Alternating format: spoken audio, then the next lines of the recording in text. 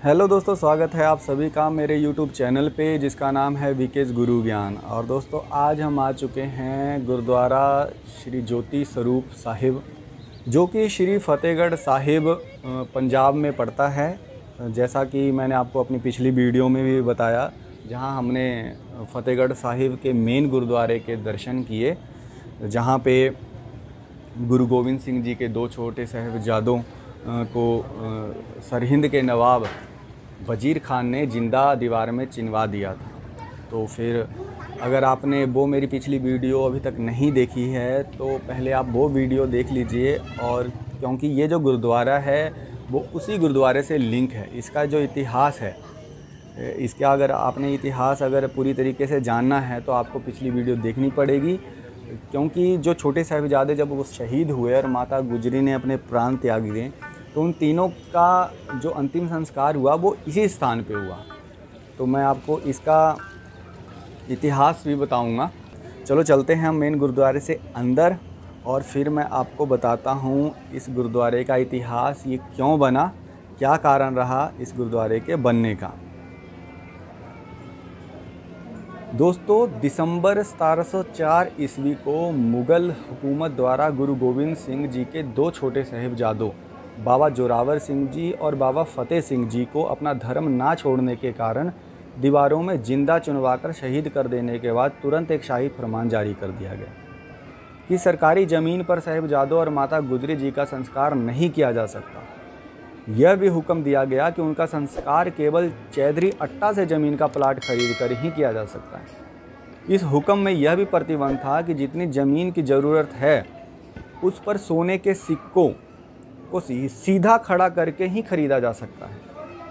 उस समय किसी में इतना साहस नहीं था कि वह साहिबजादों का इतना महँगा संस्कार कर सके। इस संकटकालीन समय गुरु साहिब के एक श्रद्धावान धनवान सिख दीवान टोडरमल अपनी ज़िंदगी को खतरे में डालकर आगे आए और पूरे सम्मान के साथ संस्कार करने के लिए जितनी ज़मीन चाहिए थी, उस पर सोने के सिक्के खड़े कर दिए। एक अनुमान के अनुसार उस ज़मीन को खरीदने के लिए लगभग अठहत्तर हज़ार सोने के सिक्कों की आवश्यकता थी, जिसकी आज के सोने के सिक्कों की तुलना में एक बहुत बड़ी कीमत बनती है। ज़मीन की कीमत चुका के सेठ टोडरमल ने तीनों, बाबा जोरावर सिंह, बाबा फतेह सिंह और दादी माता गुजरी जी, शहीदों के संस्कार के लिए ज़रूरी प्रबंध किए और पूरन अदब के साथ संस्कार किया। अपनी धनाढ़ता और खुशहाली को गुरु के परिवार तथा प्यार के लिए कुर्बान करके दीवान टोडरमल सिख इतिहास में सदा के लिए अमर हो गए।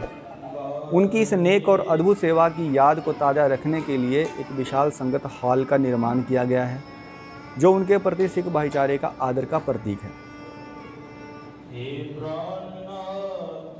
दोस्तों, यह था इस गुरुद्वारे का इतिहास, और मैं आपको यहाँ पे एक बात और बता दूँ कि जो बाबा जोरावर सिंह जी और बाबा फतेह सिंह जी की शहादत का बदला जो लिया था, वो बंदा सिंह बहादुर ने लिया था, वो सतारह सौ दस ईस्वी में उनके द्वारा सरहिंद पे विजय पाकर उनकी शहादत का बदला ले लिया और वज़ीर खान को मार दिया गया उस दौरान। तो फतेहगढ़ जो नाम पड़ा है, वो इसी कारण पड़ा है। फतेह का मतलब होता है विक्ट्री जीत। तो यहाँ पे जीत प्राप्त की थी तो इसीलिए इस शहर का नाम फतेहगढ़ साहिब पड़ा है। आप भी कीजिए इस गुरुद्वारे के दर्शन। वाहिगुरु जी का खालसा, वाहिगुरु जी की फतेह। अब चलते हैं बाहर और ये देखिए, सामने सरोवर दिख रहा है, जो श्री ज्योति स्वरूप साहिब में बनाया गया है। सरोवर की अपनी महत्ता है, जो कि मैंने आपको पिछली वीडियो में भी बताया। है